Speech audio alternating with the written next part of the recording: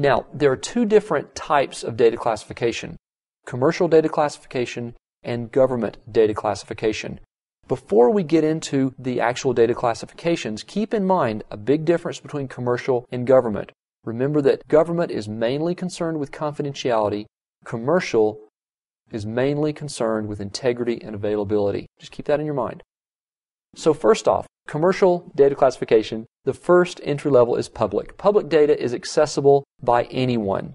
Any information which is a little bit more important or or more sensitive again than public data is classified as sensitive.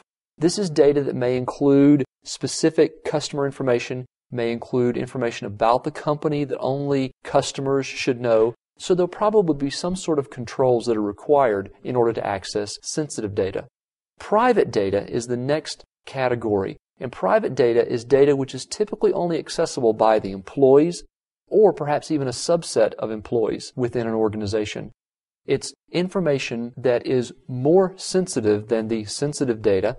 It contains information that is much more valuable to an organization than what the general public or even customers of the organization should be allowed to see.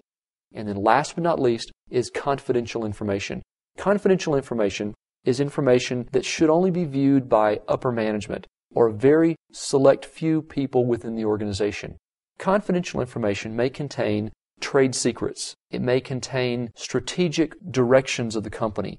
It might contain specific information on the next step the company may take in its development or research and development area. But it contains information that not even most of the employees of an organization should be able to see.